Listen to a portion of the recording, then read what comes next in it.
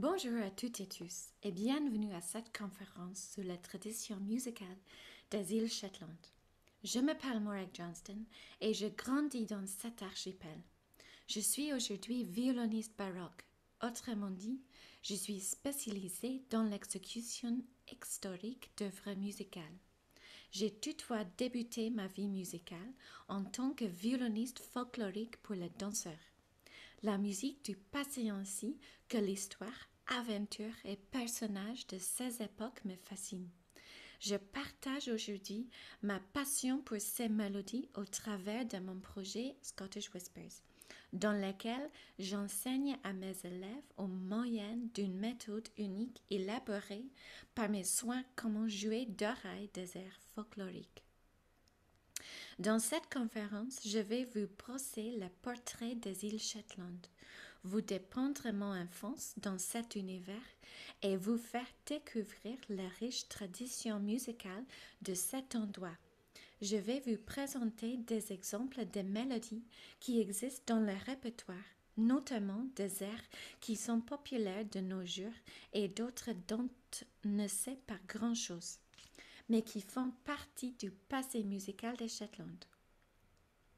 Comme vous allez les découvrir, nous ignorons encore beaucoup de choses sur la musique, ce qui n'enlève rien au fait qu'il existe un très grand nombre de belles mélodies. Pour conclure cette présentation, je vous jouerai ensuite de reel, une forme de danse, afin de vous donner un aperçu des répertoires musicaux de Shetland. Je vais prendre aussi du temps en fin de conférence pour répondre à vos questions.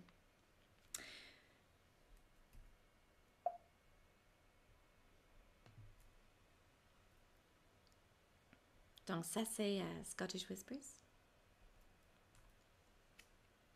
J'ai grandi dans l'archipel subarctique des îles Shetland et la musique que je vais partager avec vous aujourd'hui vient de mon enfance, de celle de mes contemporains ainsi que des personnes qui ont vécu bien avant vous, avant nous, sur ces îles. Les îles Shetland sont un lieu unique. Elles se trouvent au beau milieu de la mer du Nord à équidistance de l'Écosse, de la Norvège et des îles Féroé. Historiquement, ses habitants étaient pêcheurs, mais aussi paysans. L'habitant des Shetland se considère comme étant des descendants de vikings et célèbre encore aujourd'hui ce sentiment d'appartenance lors du Festival du Feu de janvier à. Jusqu'à 1469, les îles Shetland étaient détenues par la Norvège, mais ont été cédées en guise de dot de mariage à Jacques III d'Écosse. En outre, bien que le dialecte parlé dans les Shetland vienne de l'anglais, certains mots descendant encore aujourd'hui ancienne langue de Scandinave. Une des choses dont je me souviens étant enfant, c'est du temps. En effet, avec ses plus de mille îles situées en plein milieu de la mer du Nord, les tempêtes et les conditions météorologiques extrêmes sont monnaie courante dans, l'archipel. Avec ma famille, nous avons vécu pendant un moment en haute et en colline et en hiver, nous avons dû quitter la maison au beau milieu de la nuit, car la rafale devant atteignait de 200 000, 240 km par heure. En raison du sel présent dans l'air et dans le vent, les arbres luttent pour pousser. Et c'est sur cette toile de fond que s'est développée la musique de Shetland. L'une expérience qui m'a la plus marquée quand je vivais là-bas, c'est la musique. Ma mère est violoniste et tous les jours après l'école, et elle nous pressait, moi et mes amis, à sortir nos fiddles de leur boîte pour jouer ensemble des airs, tandis qu'elles nous accompagnaient en jouant les accords au piano. Et ça s'appelle vamping. Le répertoire de Shetland est riche. Ces mélodies parlent de la mer, des bateaux, des voyages vers le Groenland, Islande et le Canada, et bien entendu des jolies filles. Certains airs parlent des mariages d'hommes à jamais perdus en mer et du solstice d'été. Comme les hommes de cet archipel partent en mer chasser la baleine ou s'enrôler sur le navire marchand, des influences viennent d'autres régions du monde, notamment des, histoires médiévales anglaises et des chansons folkloriques viennent du vieille Écosse, peuple désert de Shetland. Pendant de certaines années, ces airs se transmettaient uniquement à l'oral de génération en génération de musiciens. Chaque instrumentiste avait en tête sa propre version d'une air et était impatient lors des bals et réunions de découvrir la version d'autres musiciens. Jouer un air exactement comme quelqu'un d'autre était moins valorisé que de modeler la mélodie à sa manière. Ces airs sont parvenus jusqu'à nous grâce au travail de ethnomusicologue Tom Anderson, qui a fait le tour de l'archipel dans les années 1970 pour enregistrer la musique entendue par les insulaires. De nos jours, ces airs sont joués en groupe, mais avant c'était différent. Il suffisait qu'une violoniste joue de son fiddle pour mener la danse.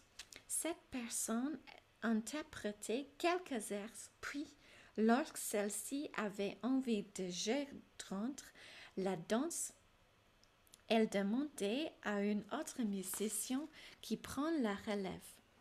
Il était rare qu'un musicien refuse, et celui-ci jouait en moins deux voire trois airs.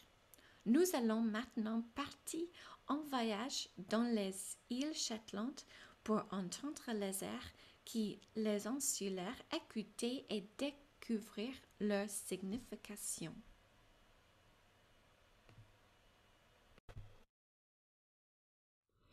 Commençons notre découverte avec le goût de Shetland, un instrument ancien pour lequel nous ne savons pas bien à quoi il ressemblait ni comment il sonne, mais dont les caractéristiques ont été déduites par l'historienne. Aucun instrument d'origine ni dessin n'a été retrouvé. Un chroniqueur en visite aux îles Shetland au début du XIXe siècle parlait de goût en 16 termes. Avant l'arrivée du violon, les musiciens jouaient sur ce qu'on appelait un goût, un instrument qui semble avoir partagé des similarités avec le violon, mais qui n'était composé que de deux cordes en crâne de cheval et était joué à l'aide d'un archet de la même manière qu'une violoncelle. D'après cette description, les historiennes et fabricants pensent que goût pourrait se rapprocher d'autres instruments anciens des pays nordiques, notamment de fiddle islandais et le tauterut inuit. Vous pouvez voir ici un exemple de reconstruction par un fabricant orchidien.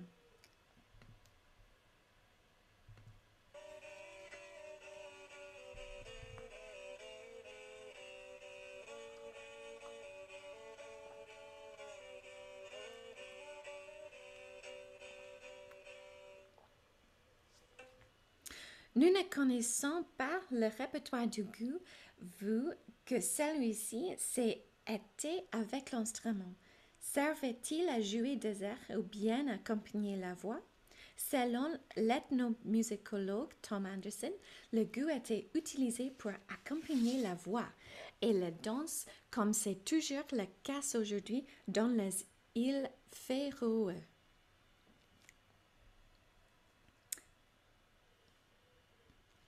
La disparition du goût a été entraînée par l'apparition du fiddle. Petite parenthèse.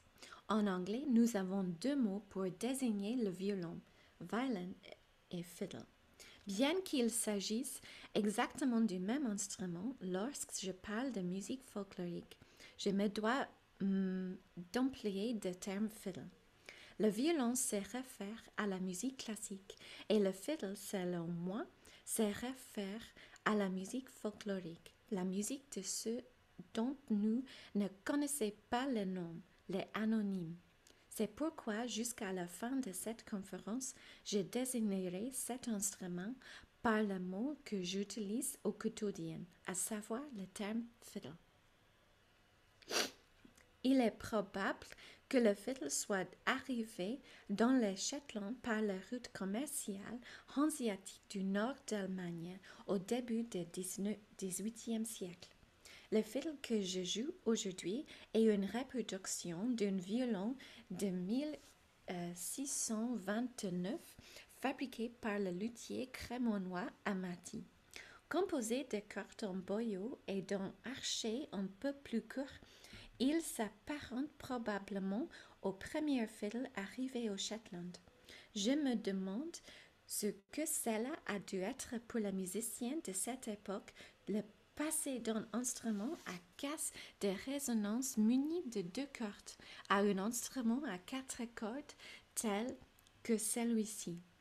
À en juger combien le fiddle est devenu populaire dans le Shetland et toute la musique qui est lui est dédiée, j'imagine qu'ils se sont très vite approprié cet instrument.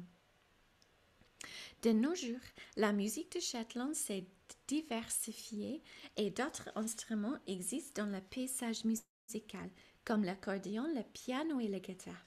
Mais avant le XXe siècle, l'instrument roi, c'était le fiddle, et c'était par celui-ci que tous les airs étaient naturellement joués. Un héritage important de son caractéristique du fiddle dans la musique de Shetland, c'est l'arrêt double, double stopping en anglais, ou comme on dit par chez nous le ringing strings, en français la corde vibrante. Lorsque je joue dans le set de musique irlandaise ou écossaise, je dois modifier ma façon de jouer. En effet, mon réflexe serait de jouer toutes les ringing strings et de jouer fort. Toutefois, lorsque je joue des morceaux irlandais ou écossais, je dois, adopter une autre attitude, car cette musique est plus raffinée et nuancée que celle des Shetland. Il semble parler que le son caractéristique de ringing strings, technique ou combien utilisé dans les Shetland, a été influencé par le fiddle Hardanger norvégien. Je vais maintenant vous faire découvrir les différents types de qui existent dans le Shetland et vous en jouer quelques exemples pour vous donner une idée de comment ils sont. Donc, airs de chasse à la baleine, Willowfjord. C'est probablement l'air le plus connu du répertoire de Shetland et si certains parmi vous connaissent des mélodies de cet archipel, vous devez aussi très certainement connaître cette musique. Cet air a été rapporté d'une expédition de chasse à la baleine dans l'Arctique du 19e siècle. Pendant longtemps, personne ne savait où se trouvait Willowfjord, mais un violoniste contemporain, Morris Henderson, a recherché cette information, information dans son livre In Search of Willowfjord. Voici un exemple de cette air.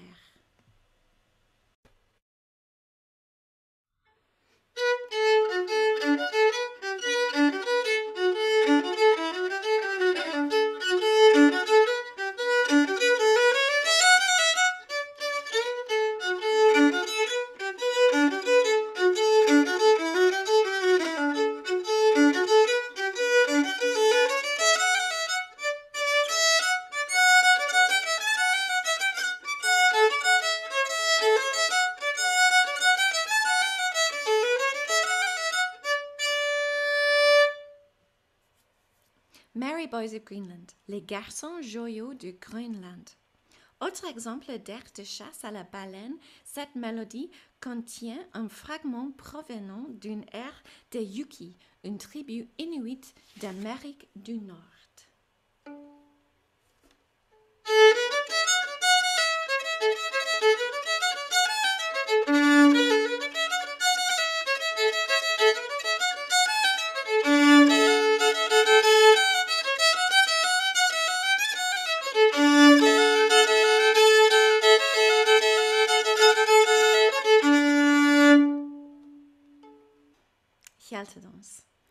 Existe un vieux cercle de pierre sur l'île de Fettler qui renferme en son centre deux pierres solitaires.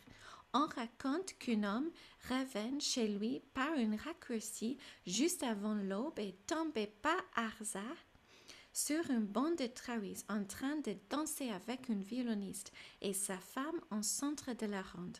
Ce créature était si occupée à danser et inconsciente du danger qu'elle encourageait qu'elle n'a pas vu le premier rayon du soleil s'est pointé et l'a changé immédiatement en pierre. L'homme qui s'était caché de peur que le Travis ne l'aperçoive n'a donc pu retenir que la moitié de l'air. Il existe encore aujourd'hui un sac de pierres sur île Fettler qui renferme deux pierres solitaires en son centre.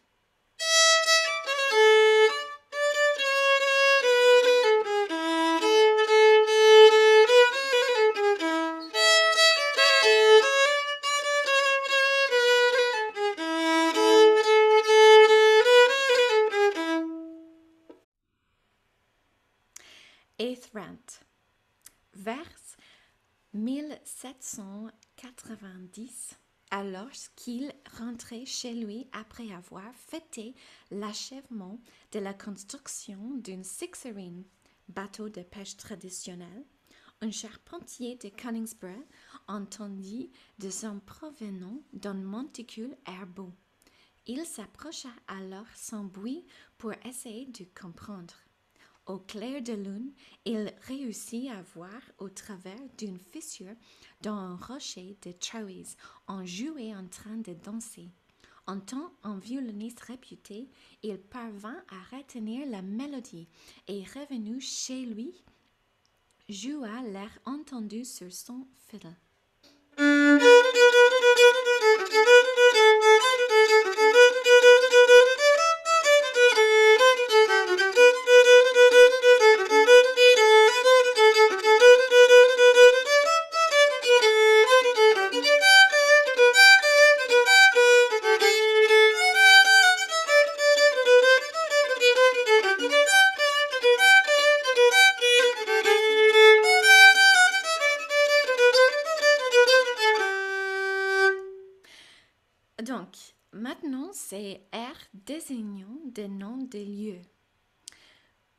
Fulla est une île située à l'ouest de l'archipel de Shetland. Comptant 30 habitants, c'est l'une des îles habitées de façon permanente. Le recef émergé Charles de Fulla est très dangereux et a vu s'échouer de nombreux bateaux. Cette terre est particulièrement intéressante car il demande aux instrumentistes d'être accordés en scordatura en manière particulière d'accorder les instruments à cordes. Je me demande d'ailleurs si le son produit se rapproche de celui du fiddle hardanger qui a incontestablement influencé l'univers musical de Shetland. Autre élément également intéressant selon moi, la mesure utilisée est à 6-8. Très peu d'airs du répertoire de Shetland utilisent cette mesure. En effet, la plupart des mélodies sont en 4-4. De plus, de plus, c'est un des deux uniques airs à 6-8 sur lesquels dansent les gens.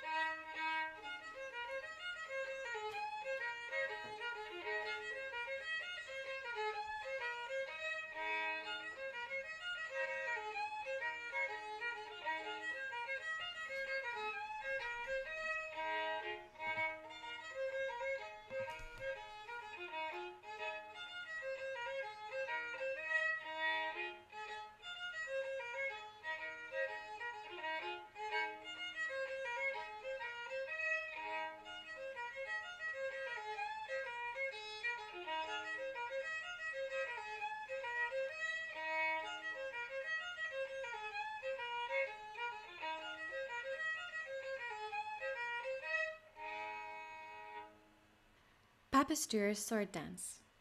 Papestur, c'est une autre petite île et il existe une vieille danse et mélodie qui sont ensemble.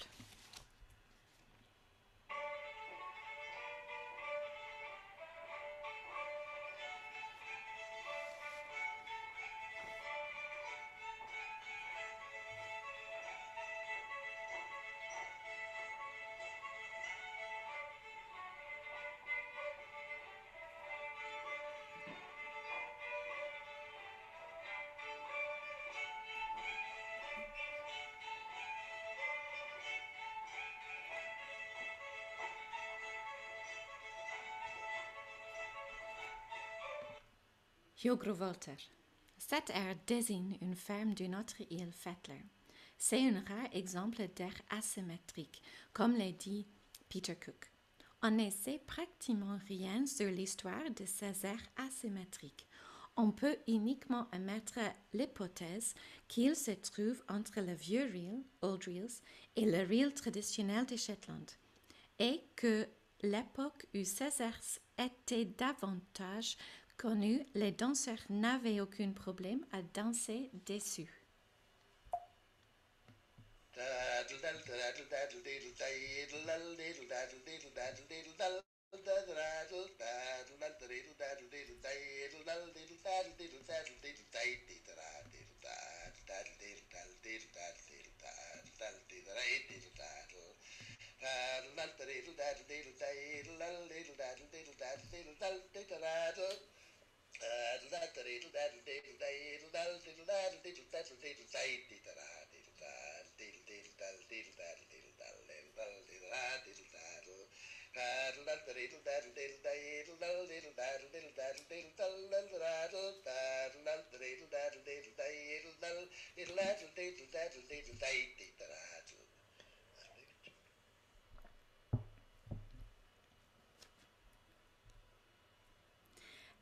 de la mer.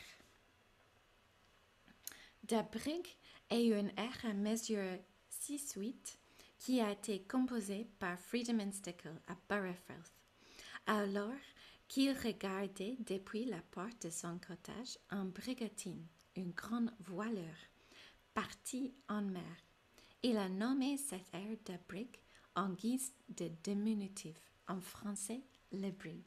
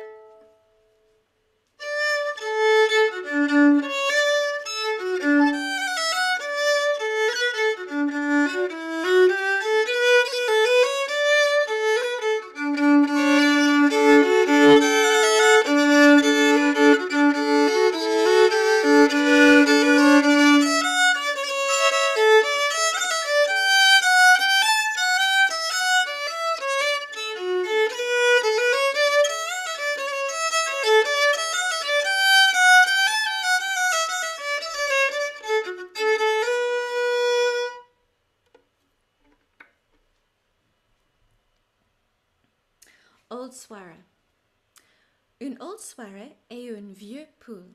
Il était de mauvais ogre de désigner une personne par son nom juste après sa mort. Cet air fait donc référence à une personne qui est partie en mer et n'est jamais revenue et la nommons par le sobrier, Old Swara, plutôt que par son véritable nom. Quand je joue cette mélodie, je pense souvent à que ce, cela doit être de perdre quelqu'un qui est parti en mer et n'est jamais revenu. J'aurai très certainement un tas de questions à poser et pas la moindre réponse.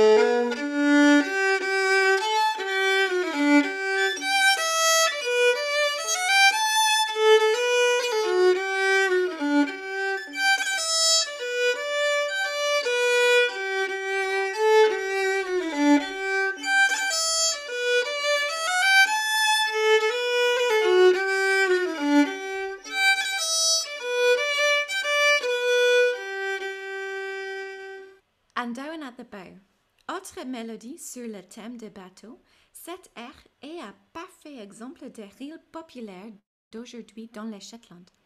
Imaginez-vous assis à l'arrière d'un bateau qui tangue au gré des vagues. Pour moi, ce morceau est une parfaite illustration du caractère narratif de la musique de Shetland. En effet, lorsque vous jouez ce morceau, votre archet bouge dans tous les sens, comme un bateau sur l'océan.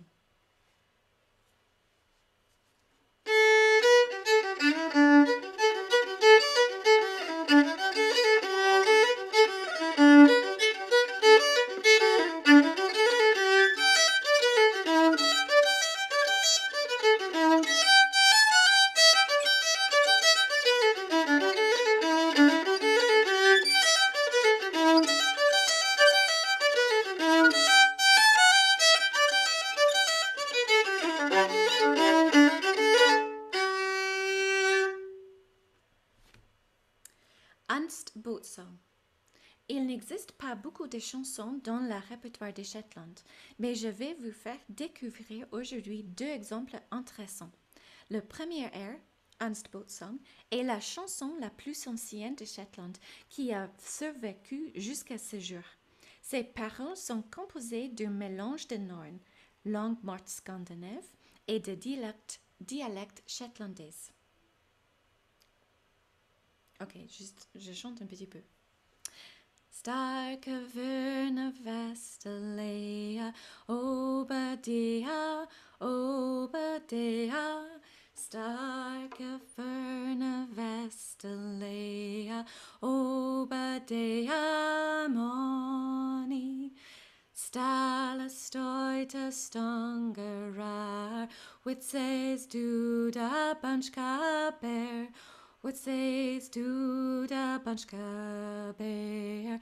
Letra mi vedrangi, star caverna vestalea, Obadea, Obadea, star caverna vestalea, Obadea, morning.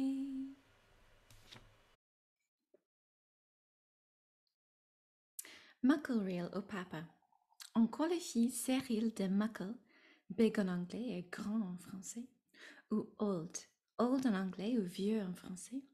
Ce type de reel n'est pas bâti sur une structure classique de huit mesures répétées, comme le sont la plupart des reels modernes de Shetland.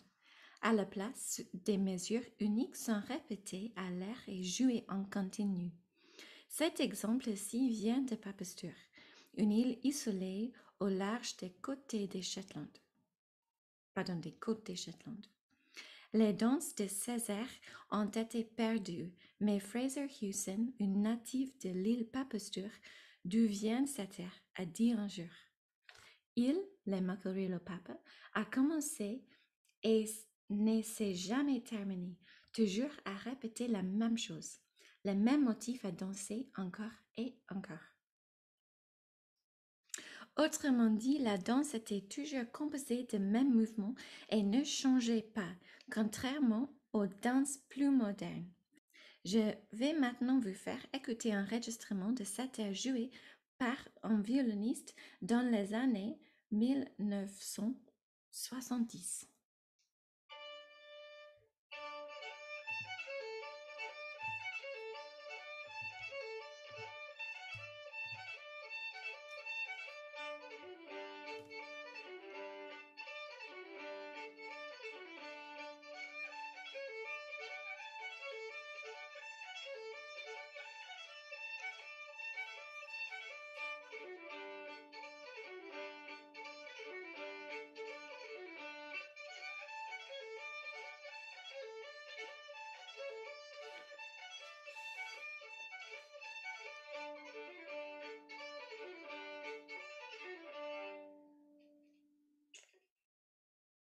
King Orpheus, le roi Orphée.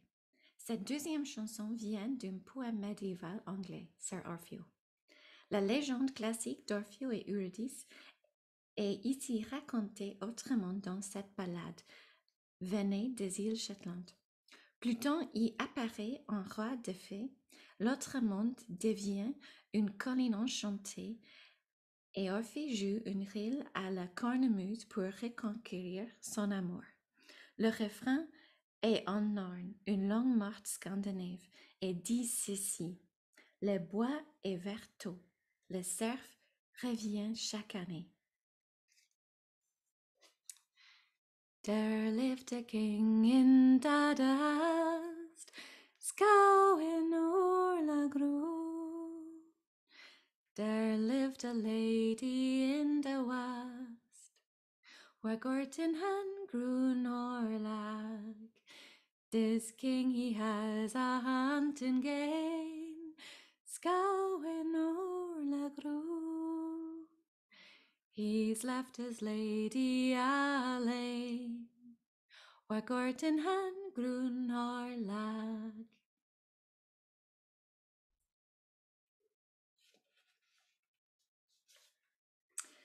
The Day Dawn. D'après l'ethnomusicologue Tom Anderson, cette mélodie viendrait de la culture scandinave et serait l'une des plus anciennes airs du répertoire des Shetland. La tradition voulait que toute violoniste joue cette air au matin de la fête du solstice d'été, qui se nomme Yuletide. Pour moi, cette air est une mélodie d'espoir. Le soleil va réapparaître et une nouvelle année de pêche et de récoltes prospères s'en vient.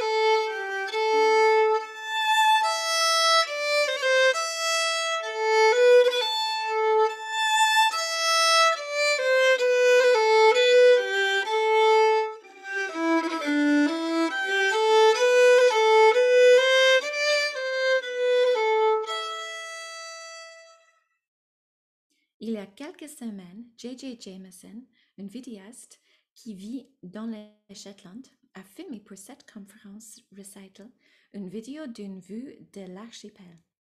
On peut y voir un petit bateau de pêche parti en mer pour aller révéler les cassiers de crabes et le homard. Vous remarquerez qu'il n'y a aucun arbre. Cette vidéo offre une vue du nord de Canningsburg vers l'île de Brassey.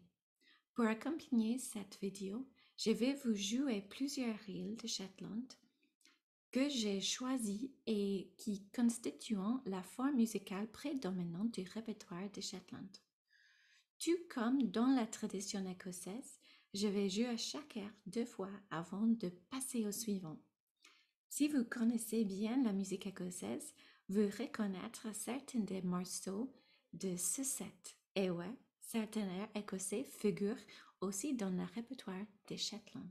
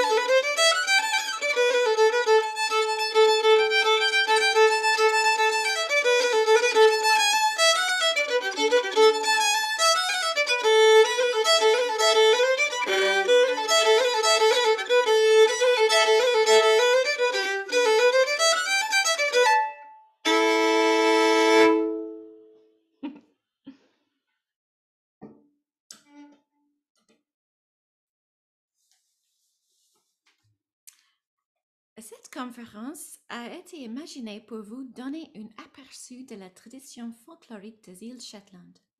Vous avez pu entendre des mélodies viennes, des chaussures de baleines et découvrir certains déserts le plus vieux de Shetland, ainsi que l'histoire et la croyance qui s'y rapportent. Ces airs m'accompagnaient quotidiennement. Je l'emporte avec moi partout où je vais. Après une répétition ou un concert, dans un pub ou pendant un cours, je les transmets à mes collègues, puis j'encourage à les, à les transmettre eux aussi à leur tour. Récemment, ces airs ont été joués par des enfants dans le sud d'Angleterre, par un accordéoniste au Japon et par des joueurs de fiddle au Canada et en Australie. Pendant le confinement, j'ai partagé ces airs avec des musiciens du monde entier au travers de mon projet Scottish Whispers. Désormais, je rends visite aux personnes à qui j'ai enseigné ces airs pour les jouer avec elles. Ces airs aujourd'hui dans le monde entier grâce à la tradition orale, tout comme autrefois où ils voyageaient. Grâce aux habitants des Shetland qui embarquent à bord de bateaux, direction le Canada, le Groenland et plus loin encore la Géorgie du Sud. Je suis certain que ces mélodies sont également parvenues jusqu'en Australie et aux États-Unis au moment où des personnes ont émigré dans ces, cette terre. Pour conclure, ces airs proviennent d'une île, mais ils viennent aussi d'un peuple insulaire qui a parcouru le monde à bord de bateaux, d'une toute petite île vers le monde entier. Et merci beaucoup, Cercle Celtique de Rennes, Shona J.J. Jameson, Oran Desno, Michael King et Patricia Rani. Merci beaucoup.